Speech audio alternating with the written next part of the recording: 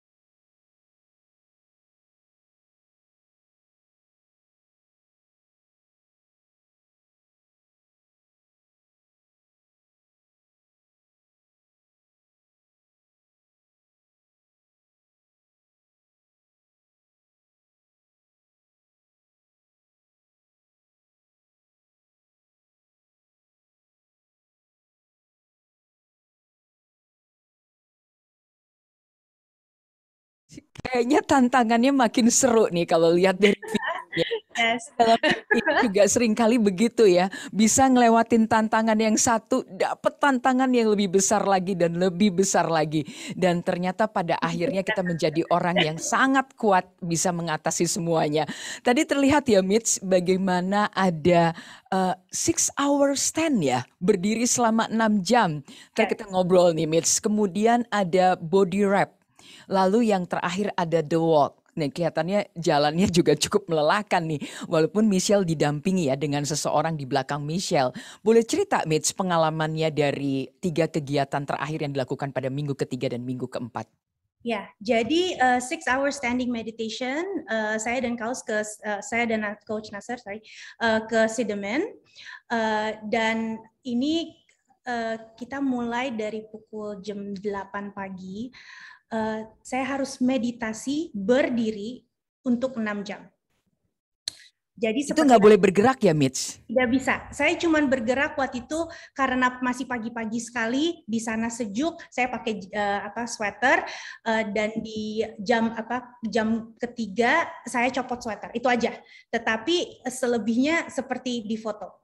Jadi saya tidak bisa bergerak kaki. Uh, apa ya kalau uh, mungkin hidungnya gatal sedikit ya boleh gitu, tetapi selain itu kita tidak bisa menggerakkan yang lain-lainnya. Um, susah sekali ya, karena saya orangnya nggak bisa diam. Jadi sama Mit, saya juga nggak bisa diam. Jadi uh, ini harus diam 6 jam ya Mit ya. ya. Jadi benar-benar um, harus harus benar-benar calm untuk melakukan ini. Dan waktu saya melakukan ini, saya banyak uh, refleksi diri, refleksi mengenai hidup, introspeksi lah mengenai hidup, uh, mengenai diri sendiri. Banyak flashbacks dari yang dulu uh, dan lain-lain. Saya juga jadi mensyukuri hidup juga. Jadi, I mean, kalau lihat dari fotonya, it's beautiful out there. Maksudnya kadang-kadang kita tuh sangat sibuk dalam kehidupan, we don't appreciate the small things in life. We don't appreciate seperti langit biru atau uh, hijau ke apa the scenery hijau-hijau seperti itu. It's appreciating how you know it's amazing, it's beautiful, and how beautiful life is.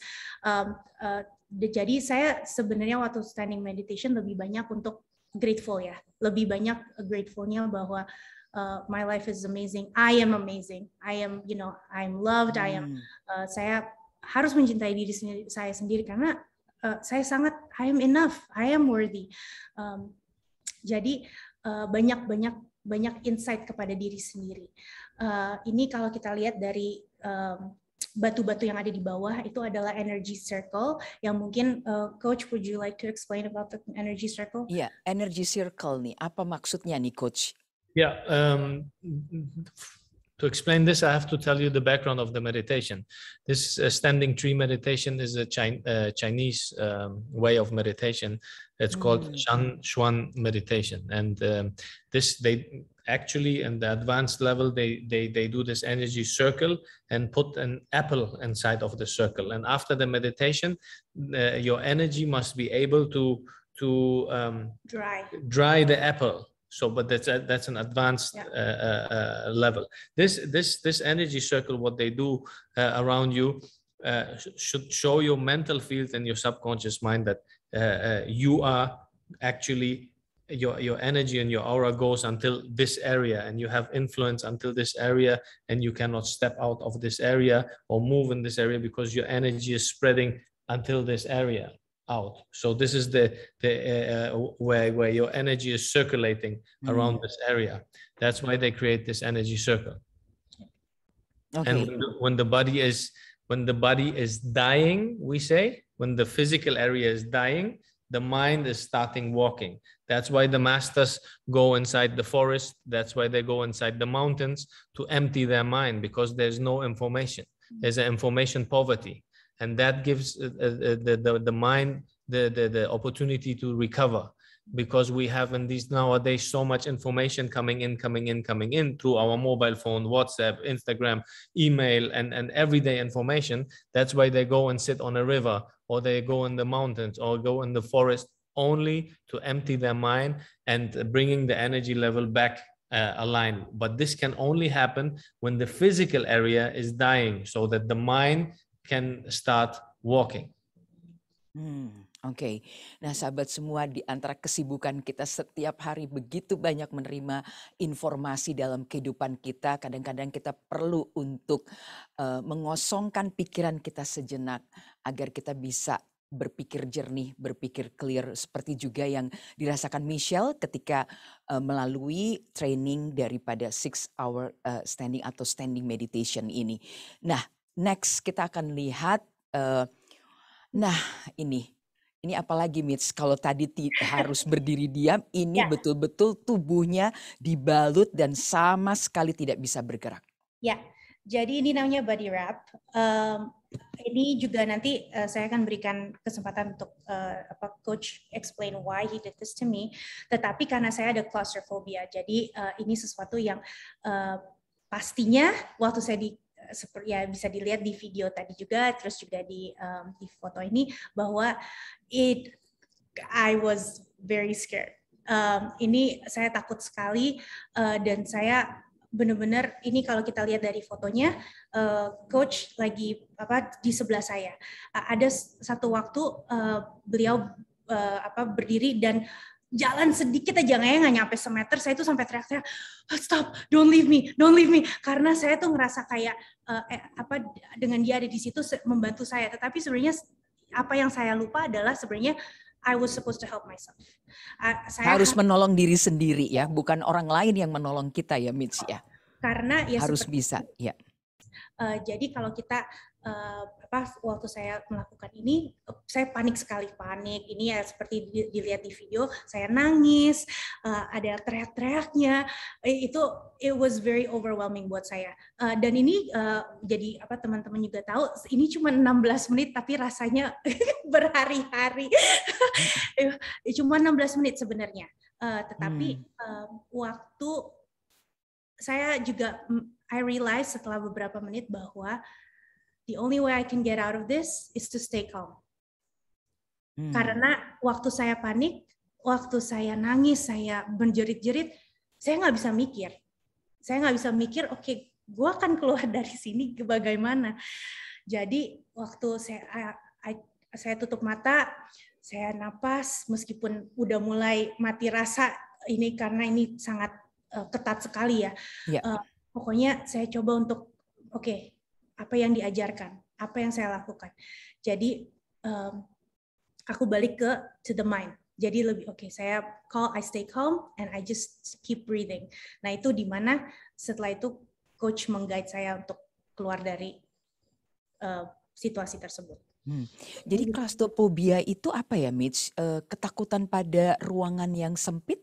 Sempit, yes, anything yang ah. sempit. Jadi uh, hmm. apa, uh, saya ada trauma dari uh, waktu saya kecil uh, dan jadi kalau saya sekarang pun uh, mungkin nggak sekarang, tetapi waktu sebelum uh, saya kalau di lift kalau lift yang tertutup sekali, terus habis itu uh, banyak orang, itu aja saya udah mulai cemas saya udah langsung nggak bisa napas, saya langsung ini terus kalau kayak di uh, apa kapal terbang yang kecil uh, agak kecil, terus habis itu uh, duduk di tengah atau duduk di sini di mana yang emang kan uh, atapnya nggak terlalu tinggi ya, itu juga yeah. udah mas nggak jadi merasa nggak bisa napas gitu. Would you like to explain why you did this to me? okay, yeah. Um, yes. I th um I think it's very important that you know fear is a serious thing. We cannot laugh about the fear of somebody. But I truly believe that you can unchain fear only if you go through this fear and unchain it. And fear happens in our mind and uh, we, the reaction we see in our body. So I had to bring Michelle back into the same scenery where she is facing her fear because fear is restricting our life. Fear is taking our freedom and life. Where fear is, there's a place for illness and disease. And we don't, if we don't understand the fear and if we don't face the fear, we will never dominate the fear.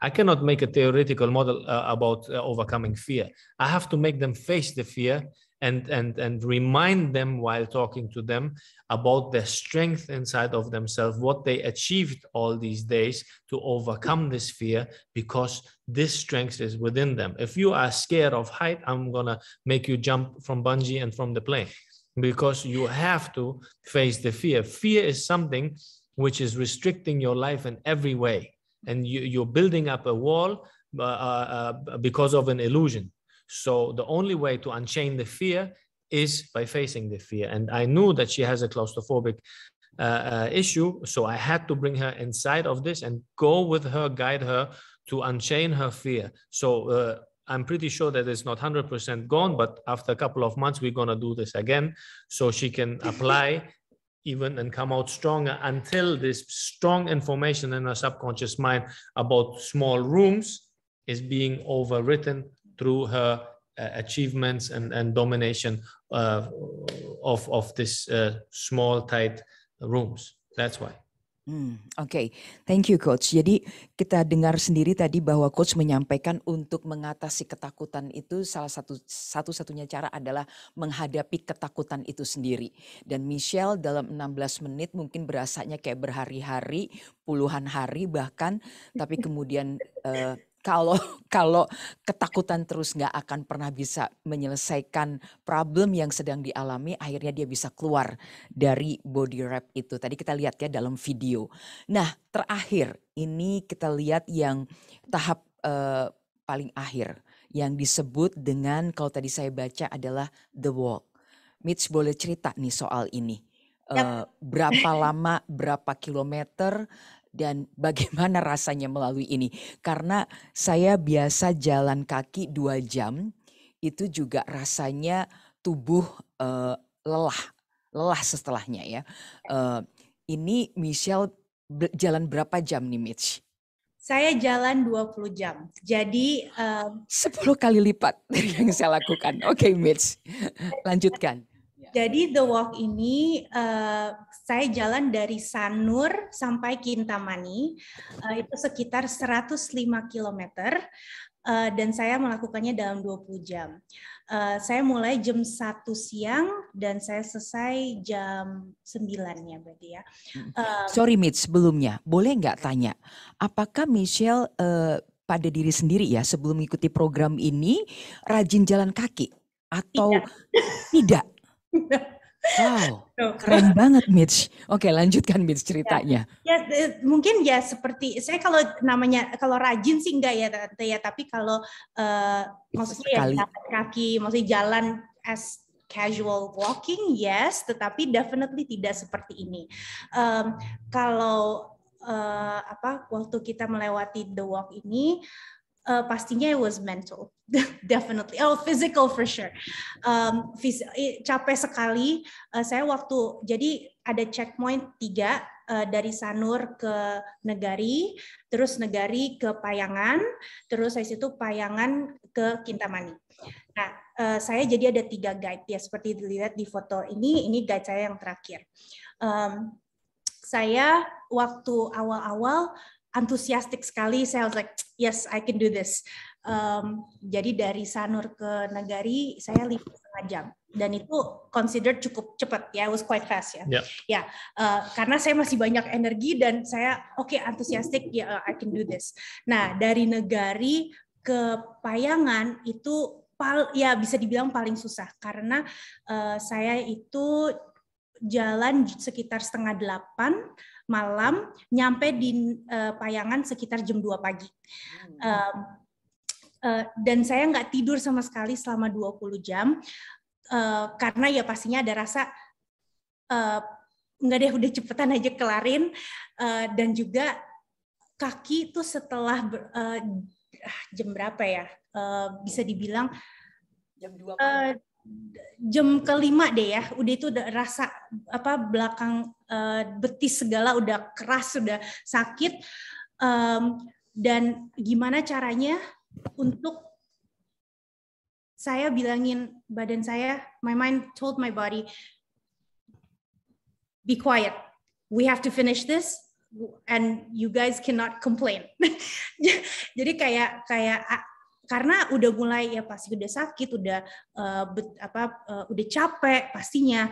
Uh, tapi saya sangat bersyukur waktu saya do the walk uh, matahari tidak terlalu terik hari itu dan nggak hujan dan juga nggak terlalu panas malah cukup ada breeze jadi saya juga uh, apa jalannya juga nggak terlalu ditambahkan faktor-faktor tersebut um, dan pastinya udah kalau waktu di Payangan saya sempat uh, istirahat 30 menit karena kakinya udah wow, udah sakitnya nggak kira-kira. Tetapi saya juga uh, realize bahwa kalau istirahat lebih dari 30 menit malah malah jadi kram, malah jadi it locks up. Jadi saya untuk mulai lagi itu lebih susah. Jadi tiap kali saya ada saya stop sedikit, uh, saya waktu dari Payangan to the last finish line, uh, saya stop sekitar 2 2 km per 2 km selama 5 sampai 10 menit untuk iniin kaki pakai counter pain uh, terus jalan lagi. Karena kalau terlalu lama itu akan untuk mulai lagi susah. Jadi secara fisik the walk definitely paling susah dan saya bilang ke coach bahwa this is the only time I'm gonna do this. I will never do this again. Mm. um, and uh, tetapi kalau secara mental and emotional, body rap paling susah. Hmm, secara mental, emosional, body rap paling susah. Tapi kalau the walk ini secara fisik ya, yang sangat terasa ya Mitch ya. Uh, Mitch rasakan dalam training ini. Nah, saya butuh explanation dari uh, Coach Nasser nih. Uh, how uh, this training connected with our life, especially the walk in uh, coach. Yeah, the walk also. The walk is uh, invented by the Japanese monks. They call. You can Google them, YouTube them. They the name is the White Monks from Kyoto, and they walk 90 days and if they ach- don't achieve they have to give themselves a commitment and if they don't achieve their goal they have to kill themselves they do have to do the harakiri that means they have to kill themselves this is the uh, Wow. temple in, in kyoto and they do the spiritual walk and uh, they uh, believe that they will achieve enlightenment by achieving this in 90 days of walking uh, we don't do the 90 days but the, the, the principle is the same that we are again letting the mind taking control over our, our, our physical area and uh, we are expanding our capacity mentally physically and spiritually and also it's the extreme situation in life where you get to know yourself. It's the extreme situation in life where you get to know your friends. It's the extreme situations in life where you get to know your partners. When the sun is shining everybody is smiling. But when it's extreme you can lie to everybody but you cannot lie to yourself. And when it gets extreme, you see where your issues are, where you try to make make excuses. I had students; they asked me if they can check in in a hotel in Payangan, uh, uh, only for three hours. In this, this is, that shows them a lot about their their mentality and their mind when problem comes. How do you react when problem comes in life, and where do you get, and how do you expand, and how you remain calm, and how you commit to your goal?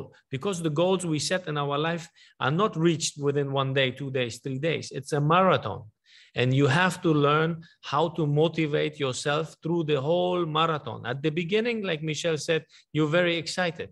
But then a, a routine comes. Are you able to keep up the routine? Are you able, able to uh, apply uh, this routine uh, and the discipline? Are you able this? Because the, the, the, the, the reward you get, this feeling you get when you reach the finish line, this confidence you get when you get in the finish line, no money can pay you this, Yeah. no check can pay you this, nobody, and you achieved it. That brings your confidence in a completely different level, and you are able to appreciate the small things because you're busy with yourself.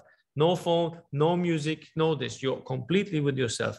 And how to apply these exercises in life, that's why I call it Kaminoken, the principle of life is in, in life, you have the same feelings. You have a long-term girl, for example, you want to become the, the boss of some place, but you start as an assistant. So there's a way where you have to go. You have to keep on continuing your mindset to mo- motivate yourself. Remain calm, strengthen your system until you get to the goal.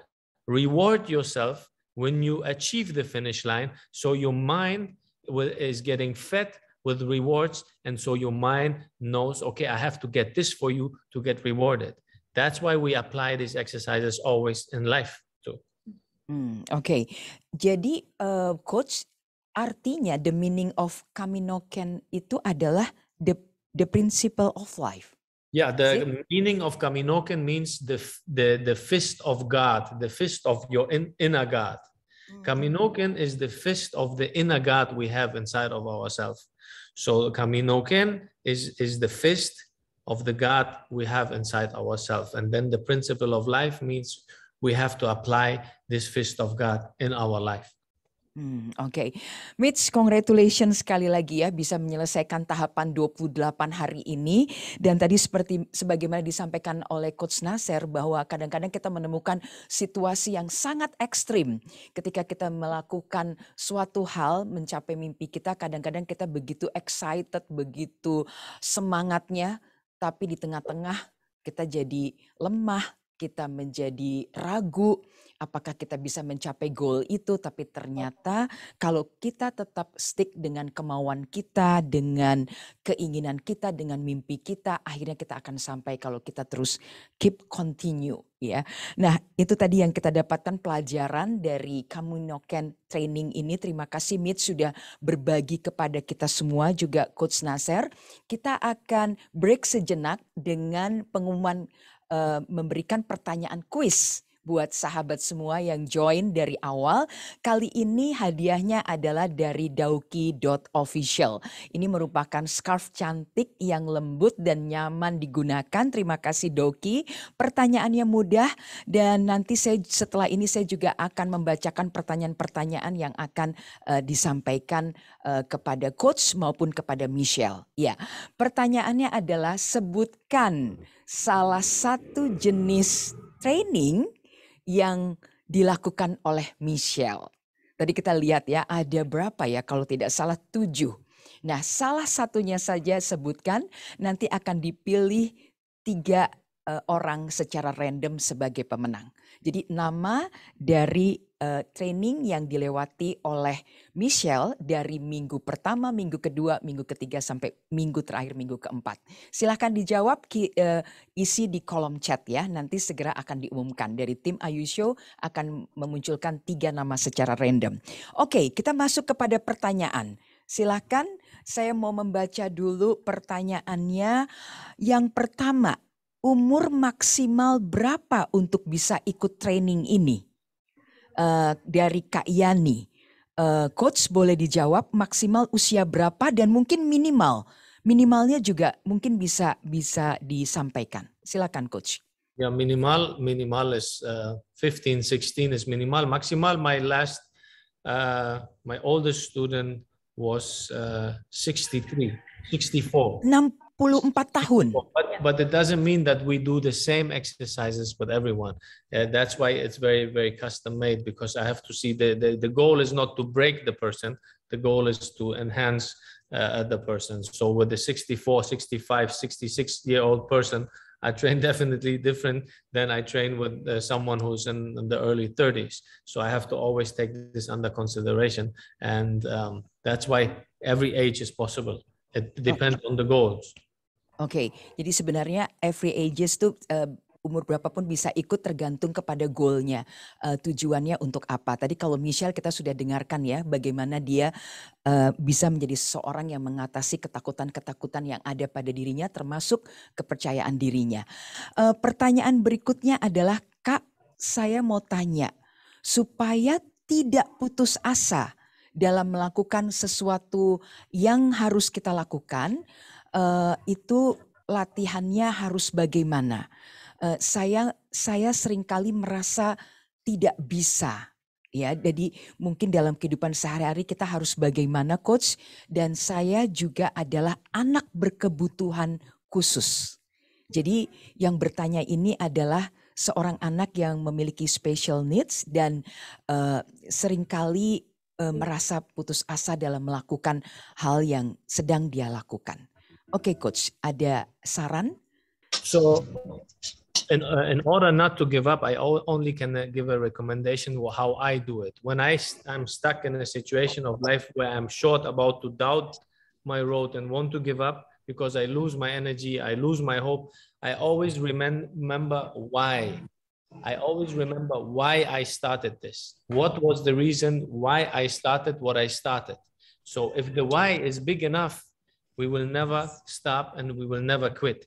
But to the other answer from, from this brother, uh, the other question from the sister about the son, I cannot say something because I, I uh, from the distance, I can never and I would never recommend any exercise or anything if I don't see the person in front of me. And then I can say something or I can say, I don't know what to do. But about the quitting, I can just say, always remember why you started something. And if the why is big enough, you will never quit something.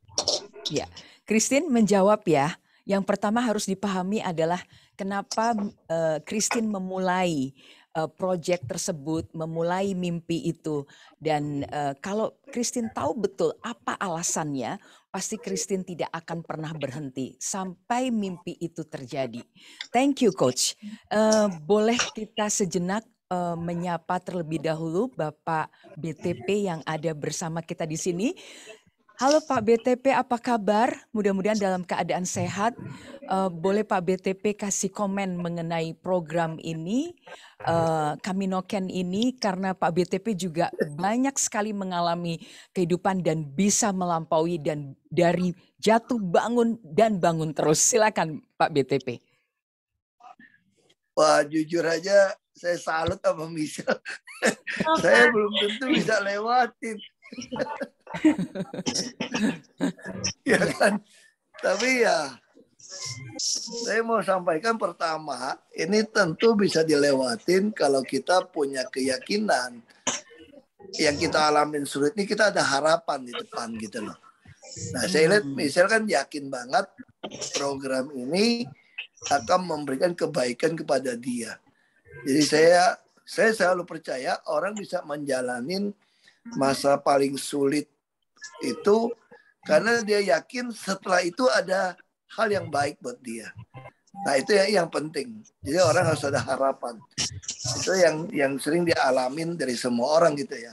Ya pertama tentu kita yakin program ini bermanfaat, uh, akan memberikan keuntungan yang lebih, makanya bisa sesusah apa pun dia tahu bahwa ini tidak akan membuat dia hancur atau menyakiti dia, tapi ini semua untuk kebaikan dia. Nah, saya kira itu. Kalau enggak, orang bisa kabur. Nah, sama kayak kita hidup juga, ada pengalaman saya selama hidup ini, saya yakin apa pun kesulitan yang menurut orang penderitaan itu terjadi atas izin Allah. Nah, kalau atas izin Allah, saya milik Allah, maka tentu Tuhan memberikan yang terbaik buat saya. Makanya saya mau jalan ini dengan baik. Karena saya yakin ini datangnya dari Tuhan. Tanpa seizin Tuhan, nggak mungkin hal ini terjadi kepada saya. Nah itu yang bisa saya sharingkan sih. Nah terima kasih. Mbak. Mesti percaya sama coachnya Pak. Gitu, iya, mesti percaya dong bahwa pro, bukan, bukan programnya bermanfaat. Percaya pada program ini bermanfaat gitu loh. Jadi kalau orang yang nganggap program ini nggak bermanfaat ya nggak usah ikut. Ikut pasti gagal kamu. Karena kita nggak yakin kan. Tapi kalau kita yakin bermanfaat, sesusah apa pun kita jalanin. Nah kita juga percaya kan kan nggak mungkin sih Nasir aneh-aneh nyiksa kita kan nggak kan. Dia udah di, diukur, terukur program ini. Saya kira itu. Ya, terima kasih Pak BTP untuk uh, komennya uh, bermanfaat sekali buat kita bagaimana tadi Pak BTP mengatakan bahwa yang penting adalah punya keyakinan dan percaya kepada Tuhan bahwa apa yang diberikan oleh Tuhan itu adalah yang terbaik untuk kita. Termasuk juga Michelle percaya kepada coachnya bahwa apa yang disampaikan oleh coachnya itu adalah yang terbaik untuk uh, hidupnya Michelle. Thank you Pak BTP sekali lagi dan sudah join Ayu Show sore hari ini. Uh, saya ingin mendapatkan uh, take home messages dari coach untuk viewers, tapi sebelumnya Michelle boleh sampaikan kepada kita semua. Michelle sekarang merasa menjadi Michelle yang seperti apa setelah dua minggu menyelesaikan training ini dan apakah Michelle masih dipantau terus oleh Coach Nasser? Kalau toh iya sampai kapan Mitch? Karena pada akhirnya kita harus bertanggung jawab pada diri kita sendiri. Silakan Mitch sebelum kepada Coach Nasser. Ya, uh, setelah programnya uh, gimana pun setiap program saya saya merasa saya merasa ada uh, a different ya. Um, pastinya saya jauh lebih calm. Seperti tadi uh, kan sempat bilang kalau saya itu orangnya panikan uh, dalam situasi uh, apa anything that's challenging. Jadi saya belajar untuk kalau saya di situasi dan waktu saya di sini jujur saya di bubble ya. Karena nggak bisa keluar memang di uh, jadi uh, terus nggak ada HP buat uh, apa 14 hari dan lain-lain. Jadi saya tuh benar-benar protected in a bubble living in a bubble. Um, jadi waktu setelah programnya saya tuh harus adaptasi balik kepada reality to the real world uh, dengan informasi overload HP WhatsApp Instagram everything macam-macam. Dan itu yang uh, saya mem menggunakan tools dan knowledge yang saya uh, dapatkan dari coach, bagaimana mengatasi semua itu. Uh, jadi saya tetap melakukan meditasi pagi-pagi. Setelah bangun saya meditasi itu untuk dan sebelum tidur pun saya meditasi setelah saya um, apa uh, uh, matiin HP karena untuk detox informasi-informasi dari hari itu dan pas pagi-pagi saya meditasi untuk prepare myself for the day. Nah, uh, jadi saya menggunakan tools-tools tersebut uh, apa yang, dan kalau saya ada masalah di uh, di kantor atau dengan uh, apa di relationship atau dengan keluarga atau dan lain-lain itu yang saya saya selalu menginikan lagi oke okay, tools dan knowledge yang kita saya saya uh, belajar dari coach uh, dan intinya adalah untuk stay calm to stay calm karena jadi kita juga bisa mikir lebih jernih um, saya bisa dibilang I guess aku lebih pede. uh, Terlihat Mitch lebih cantik lagi. Terima kasih. Um, saya waktu program saya tu, uh, turun 7 kilo dalam 7 20, kilo dalam 28 hari. Ya, terus selama uh, dua minggu ini uh, sebelum saya datang saya turun 3 kilo lagi. Jadi um, udah 10. Luar biasa, Mitch. Itu Jadi, karena kesadaran ya, kesadaran ya. dan hasil dari training yang dilalui. Ya, dan okay, juga Mitch. karena udah create habit tersebut itu juga. Oke, okay, mudah-mudahan habit itu terus ada ya Mitch ya karena akan membentuk karakter baru yang lebih baik pastinya. Coach, your takeaway message for our viewers today, please. My takeaway message for our viewers is seek for happiness, not for money first. Try to be happy and then the money will come from itself. Yeah. This is my takeaway message. Thank you very okay. much. Singkat jelas yang terpenting menurut coach adalah uh, cari kebahagiaan kita. Nanti dari situ uang akan datang. Jadi jangan cari duit dulu. Itu juga yang saya rasakan dan saya alami. Thank you coach. Dan untuk sahabat Ayu, sahabat coach Nazar dan juga Michelle yang join pada sore hari ini atau pada hari ini, terima kasih kehadirannya. Mudah-mudahan banyak manfaat yang kita dapatkan. Saya pun juga sudah banyak catatan dan menjadi semangat untuk melakukan habit yang baik kembali uh, bisa juga melalui meditasi. Kalau dalam Islam biasanya kita berzikir di pagi hari pada saat sholat subuh. Uh, bisa juga dengan memulai olahraga karena exercise menjadi penting. Kita lihat tadi ada tiga pilar utama yaitu melatih mental kita, melatih fisik kita, dan satu lagi melatih juga spiritualisme kita. Sahabat Ayu, akhirnya kita sudah melihat seluruh rangkaian dari program Camino Can Training dari Coach Nasser Bali Indonesia dengan studennya Michelle Caya Dikarta. Kita melihat sendiri bagaimana hasilnya dan tentu kita ikut bahagia untuk Michelle berhasil mengatasi semua ketakutannya, mengatasi semua keraguannya dan menemukan kembali kepercayaan dirinya. Kita bisa lihat tadi ya waktu body wrap bagaimana dia bisa mengatasi dari ketakutan pada kesempitan atau yang disebut dengan claustrophobia dan isu overweight berhasil menurunkan berat badan sebanyak 7 kilo ditambah 3 kilogram lagi. Dan itu semua dilakukan atas dasar refleksi diri yang berhasil dia lakukan. Nah, mudah-mudahan kita semua juga bisa mencapai keberhasilan dan pesan yang paling saya ingat dari Coach Nasser adalah miliki keteguhan hati, kemauan dan disiplin, continue terus melakukan sampai kita mencapai tujuan kita. Sampai jumpa di Puja Sukses. Hanya di Ayu Show Friday with Ayu Show. Hanya di Ayu Show Friday with Ayu Show. Friday with Ayu Show